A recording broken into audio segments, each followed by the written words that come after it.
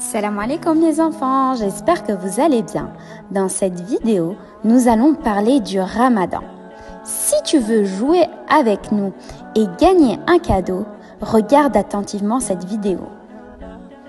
Pendant le ramadan, Allah nous demande de ne pas boire et ne pas manger durant la journée, c'est-à-dire quand le soleil se lève jusqu'à ce qu'il se couche.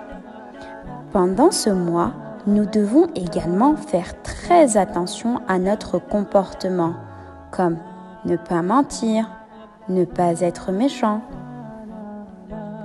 Pour faire plaisir à Allah, nous devons accomplir des bonnes actions.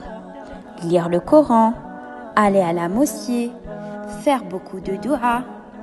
Le ramadan est un mois où nous lisons beaucoup le Coran, car c'est durant ce mois que Allah a envoyé l'ange Jibril au prophète Muhammad pour lui révéler les premiers versets du Coran.